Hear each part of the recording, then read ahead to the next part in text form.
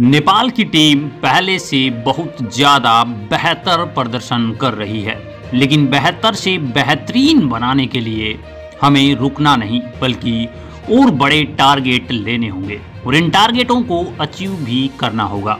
कुछ इसी ही अंदाज के अंदर नेपाल की टीम ने एक बहुत बड़ा फैसला लिया है। नमस्कार, मैं पीएम डीएनए सिंह और आप देख रहे हैं कमाल यार। इस वक्त हम उसी फैसले का ज़िक्र करने वाले हैं। मैं आपको बता दूँ कि नेपाल की टीम अभी अभी यहाँ पे चाइना से अपने घर लौटी है। जैसा कि हमें अवगत है कि नेपाल की टीम भारत से क्वार्टर फाइनल में एक कड़ी मशक्कत के बाद हार ज़रूर मिली, लेकिन इंस्पिरेशन भी उससे उससे भी बढ़कर मिला था। और अब वो घर आकर घर नहीं बैठने वाले, ये सबसे बड़ी बात है। तो वीडियो के अंदर हम बात करेंगे कि नेक्स्ट स्टेप क्या रहा है नेपाल की टीम का, और इसके साथ साथ इससे कितना ज़्यादा बेनिफिट मिलने वाला है। लेकिन बेनिफिट कहाँ मिलने वाला है?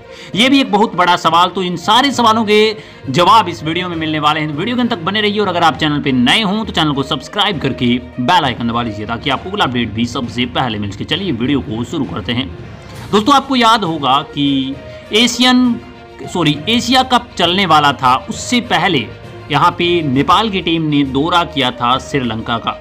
और उसके बाद वो श्रीलंका से घर नहीं आए थे। उन्होंने पंद्रह दिन का कैंप रख दिया श्रीलंका के अंदर ताकि वो कुछ सीख सकें और उस सीख का बदला हमें देखा कि जब यहाँ पे भारत के सामने मुकाबला था तो इतना बड़ा टारगेट बाकी कोई भी टीम भारत के सामने नहीं रख पाई, लेकिन नेपाल ने 230 रन का टारगेट रखा था।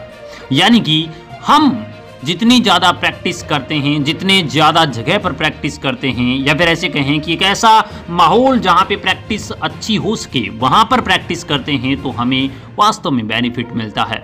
और इसी बेनिफिट को लेने के लिए कहीं ना कहीं नेपाल की टीम चाहती है, अब घर में ना रुका जाए। जी हाँ दोस्तों, अब यहाँ पे भारत के अंदर टूर करने वाली है नेपाल की टीम। आपको जानकर काफ़ी ज़्यादा उत्सुकता भी है और इसके साथ साथ आपको हैरानी भी है।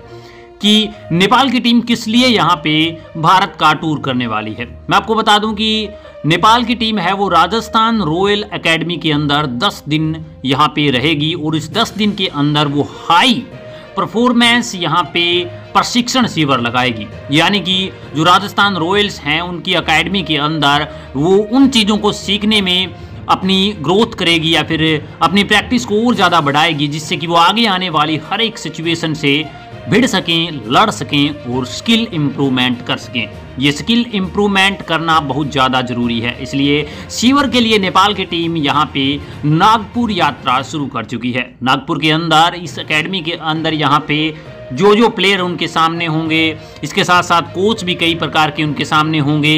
मोन्टी देसाई का ये फैसला वास्तव में बहुत बढ़िया माना जा रहा है। मैं आपको बता दूँ कि आगे आने वाला जो आगामी T twenty World Cup Asia qualifier है, उसके लिए नेपाल की टीम ने अभी से तैयारी शुरू कर दी है।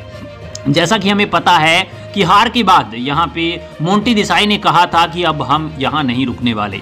अब हम टी ट्वेंटी वर्ल्ड कप की तैयारी करेंगे। हम आपको उस वर्ल्ड कप के अंदर क्वालिफाई करके दिखाएँगे। हम आपको 2024 के अंदर खेलते हुए नज़र आएँगे। वो भी टी ट्वेंटी वर्ल्ड कप के अंदर। जो कि सबसे बड़ा यहाँ पे मुझे लग रहा है कि निर्णय था, और अब की बार जो एशिया क्वालिफायर है वो होस्ट भी नेपाल कर रहा है। यानी कि नेपाल को खुद की पिचेज का तो पता ही पता है। इसके साथ साथ उनके पास कई तरह के एक्सपीरियंस भी हैं। एक्सपीरियंस की बात करूँ मैं तो यहाँ पे उनके पास भारत के साथ भिड़ने का तीन बार एक्सपीरियंस है। एक बार ए टीम से तो दो बार मेन टीम से यहाँ पे भिड़ी है। जिसमें से एक वो टीम जो कि हाल ही में यहाँ पे वर्ल्ड कप खेल रही है तो एक वो टीम जो कि सेमीफाइनल जीतकर फाइनल में पहुँच चुकी है एशियन गेम्स के। तो आप सोच सकते हैं कि नेपाल की टीम के पास कितना बड़ा एक्सपीरियंस लेवल है। और इसी को यहाँ पे और ज़्यादा एक्सपोज करने के लिए, इसको एक्सट्रीमली हाई करने के लिए इस पोटेंशियल को नेपाल की टीम पहुँच रही है राजस्थान के अंदर, जो कि भारत का एक स्टेट है और सबसे बड़ा स्टेट है। मैं कहूँ कि क्षेत्रफल की दृष्टि से राजस्थान रॉयल नाम से आईपीएल के अंदर टीम भी आप सभी लोग जानते भी होंगे।